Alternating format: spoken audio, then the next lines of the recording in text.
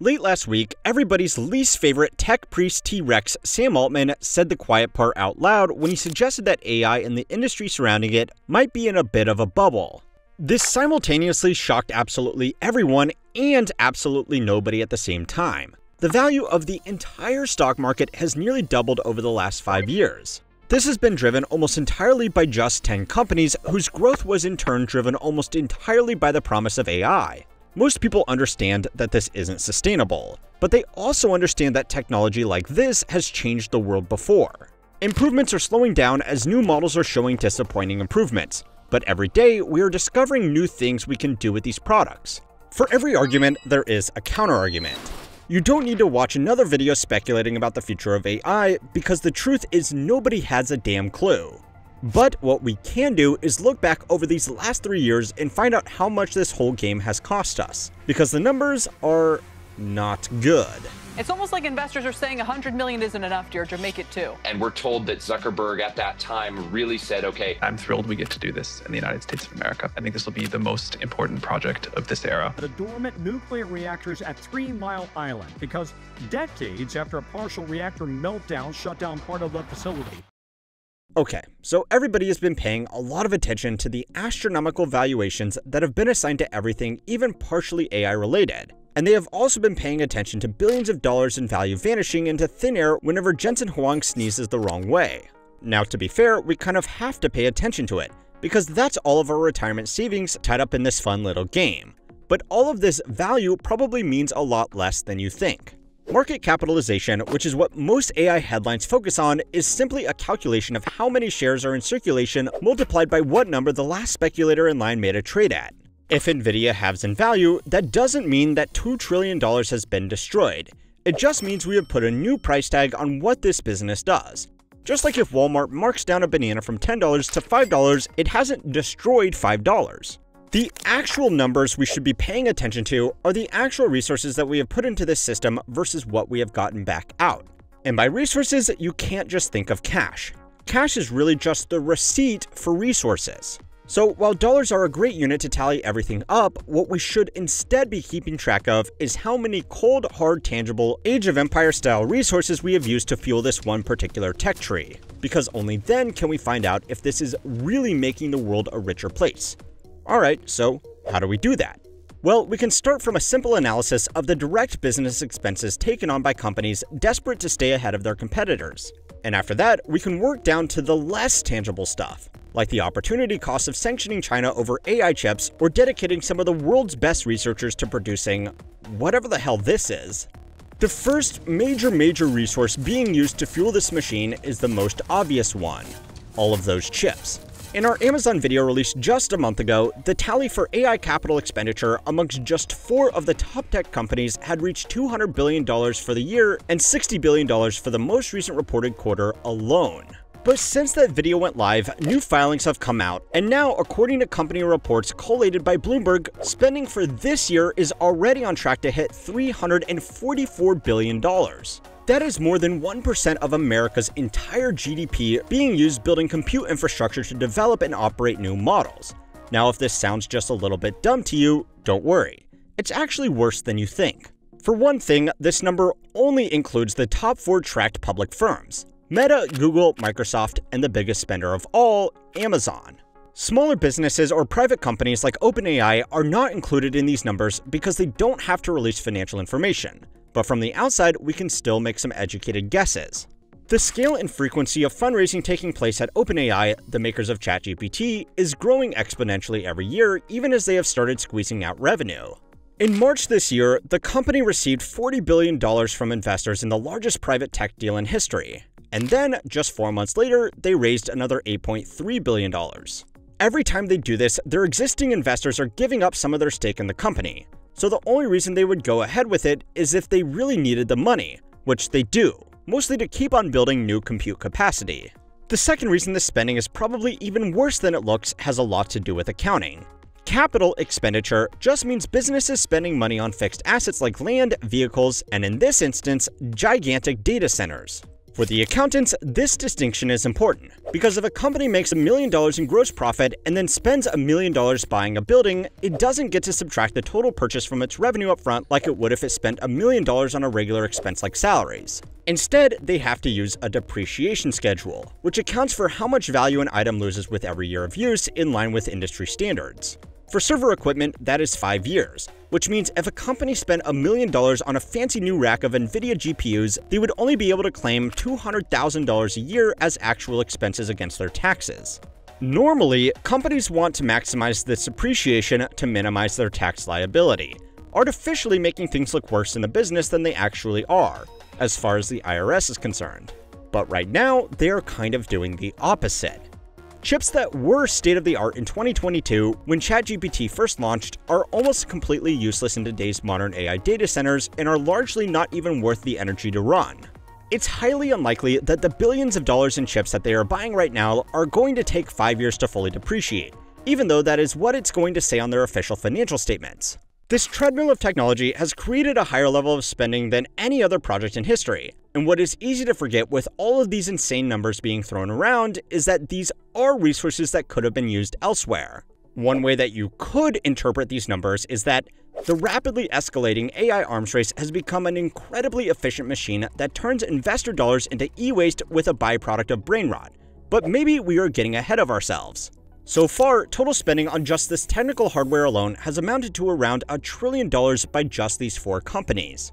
According to data from Stanford, Chinese state-owned enterprises have invested an additional $500 billion into AI infrastructure. And then every other organization in the world that isn't Amazon, Meta, Google, or Microsoft has dropped in another half trillion dollars working backwards off the sales data from Nvidia and AMD. But that's just the first item on the budget sheet. And these companies are finding out the hardware is the cheap part. So it's time to learn how money works to find out how much the world has spent on the AI arms race so far. This week's video is made possible by Brilliant. Brilliant is a hands-on learning platform built to help you think more clearly and solve problems more confidently, through thousands of interactive lessons in math, science, computer science, and beyond. What sets Brilliant apart is how active the learning is. Instead of just watching videos, you're actually doing the work solving puzzles, writing code, and exploring concepts through bite-sized challenges that build on each other. Lately, I've been working through their programming with Python course, and it's surprisingly engaging. You start with the basics, simple functions, control flow, and before long, you're building logic from scratch and thinking like a real developer. It's a perfect intro if you're new to coding or just want to strengthen your foundation. And it's super easy to stick with. Whether I'm on my phone for a few minutes or diving in deeper on my laptop, it always feels like time well spent. If you've been meaning to learn Python or just want a smarter, more interactive way to learn anything, Brilliant's a great place to start. To learn for free on Brilliant, go to brilliant.org forward slash how money works, scan the QR code on screen, or click on the link in the description.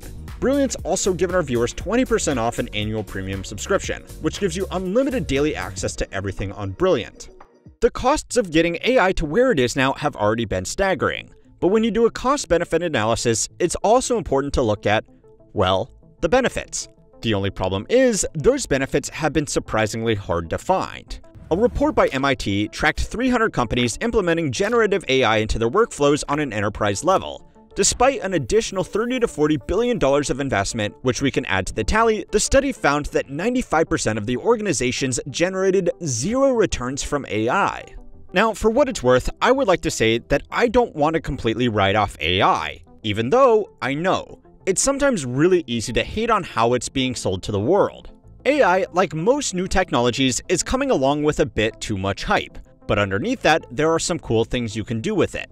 I know I have used this example before, but even here at Little Works Media Group, we used to spend hours every week cutting out images to use as assets in our videos. Now, most of that can be done with AI tools letting our editors actually work on something creative, or you know, just getting some time to go out and touch grass. These are real practical tools that have helped make someone's working day easier, more productive, and less monotonous. The problem with this, though, is that when companies, governments, and uh, non-profit organizations have poured trillions of dollars into developing this technology, useful practical tools are not good enough. Companies want to be able to replace their workforce, not make their work slightly easier. Governments want a superintelligence, not something that can trim out JPEGs. And honestly, I don't even want to know what someone like Peter Thiel wants you would prefer the human race to endure, right? Uh, You're hesitating. Yeah, well, I Yes? I don't know. I I would. Uh, yes. okay. But But whatever these grand ambitions end up being, the bill is adding up. And we haven't even got to the big expense yet energy. Earlier this month, a group of AI researchers started making headlines after they returned from a tour of facilities in China. Their claim was that America had probably already lost the AI arms race, not because China had better technology or researchers, but because they had an actual functional electric grid. According to the Department of Energy in a report, the foundation of America's electrical grids were built in the 1960s and 70s, and a lot of the infrastructure is still being used today, well past the end of its intended life cycle. China has industrialized much more recently than we have here in America. So while our grid is barely holding on, they have had the advantage of practically building theirs from scratch with more modern technology. Now, this still hasn't been cheap for them, but since the 1990s, while America's economy has been primarily fueled by consumer spending, China's has grown on exports and construction. According to their national statistics and corroborated by Bloomberg Intelligence, the country spent nearly $2.3 trillion on infrastructure in 2022 alone, compared to $1.1 trillion worth of spending in the US, spread out over five years. This is not to say what China is doing is a good idea either. This kind of spending has put them in a potentially ruinous amount of debt. But the reason this is important for the AI discussion is because Chinese grids frequently run with energy reserve margins of 100%, which means it has twice the energy capacity it needs, whereas in America, we operate with margins of just 15% according to the researchers who made this report. That means that AI data centers in China are actually a useful way to soak up extra energy capacity, while the same facilities here in America are a strain on already crumbling infrastructure. The International Energy Agency estimates that data centers accounted for 1.5% of the world's electricity consumption in 2024, and is projected to double by 2030 if current trends continue with AI. If you were to get that out of your outlet at home, 450 terawatt hours spread out over the last three years only would have cost you around $18 billion, assuming you were able to negotiate wholesale rates of about $40 per megawatt hour. That's actually not bad, but it's far from the whole story. That's just the cost that the AI operators will pay, not everybody else. You've probably noticed that your electricity has become more expensive over recent months. Or maybe you haven't because, let's be honest, everything has become more expensive over recent months. But anyway, I want to play a little game. This is average energy prices across American cities according to the BLS. Can you see anything that stands out? Let me give you a hint. Major AI development really kicked off right here. Now, the war in Ukraine, more EVs, and overall inflation played a part in this too. But here in America, we never really relied on Russian energy. Before the recent surge in AI, electricity prices were actually declining compared to inflation. But now they have almost doubled within the last three years alone. This is costing us all in more ways than just the big, beautiful energy bills we have to deal with every month. Other industries like manufacturing also use a lot of energy, and if they have to pay twice as much for this crucial input, they are going to pass those costs along to all of us and be less competitive in global markets. According to the Energy Information Administration, end use electricity expenditures totaled $419 billion in 2021 before this jump. They have not published data on 2024 yet, but if we are using more electricity and paying almost twice as much for it, the actual cost felt across the economy is easily an additional $400 billion. Again, this is just in America. Now, some of the largest AI players have responded to these market conditions by just commissioning their own power plants, but other businesses are pursuing a more tried and tested approach, begging the government to fix their problems for them. Big tech companies have been lobbying hard to get money allocated to upgrade energy infrastructure. They are using the threat of moving their operations offshore if their needs aren't met, which is an effective message since the government sees this as such a strategic industry. Now, if we end up getting a better electrical grid because some big tech companies wanted it, maybe that might actually be an example of political lobbying accidentally doing some good. But according to the University of Texas Energy Institute report, this could take trillions of dollars and nobody is arguing that the grid doesn't need an upgrade. The problem is that nobody else is getting a say as to whether there are better places to be spending that money first. Places like, oh, I don't know, bailing out private equity when they inevitably explode. Go and watch this video next to find out how they got themselves into the world's dumbest debt crisis. And don't forget to like and subscribe to keep on learning how money works.